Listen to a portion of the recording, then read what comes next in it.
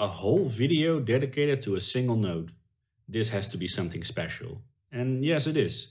I've made this video solely about the circulate node because this is a complex node that doesn't really fit in with any of the other subjects in this course.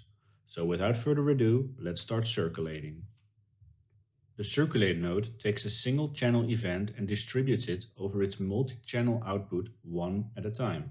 In layman's terms, it creates a collection by updating each index one at a time. Here I have a metronome triggering a random node that goes into the circulate.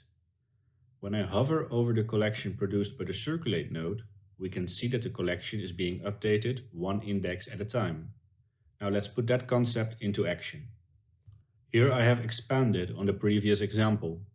The random node now produces a float2 value. The changes in the collection are being smoothed twice. The first smoothing happens over a second and the second smoothing happens over 5 seconds. We can add the results together to move the dots around in the transform node. Combining two smooths creates a nice friction effect. What we can learn from this is that the circulate node is really nice for animating things one point at a time. In this example, we use the circulate node with triggers. The circulate gets triggered from the transport beat. The circulate sends them out, one at a time, to the attack release node, which is instanced. This allows us to animate the rotation of the stars one at a time. Fancy stuff. Here we have our final example.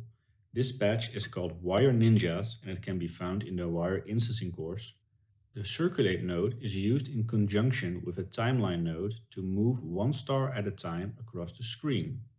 The circulate also helps to randomize the height of each star. This is a pretty cool way to start spawning things onto your scene.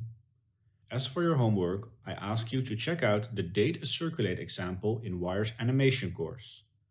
After that, try to make an animation sequence using circulate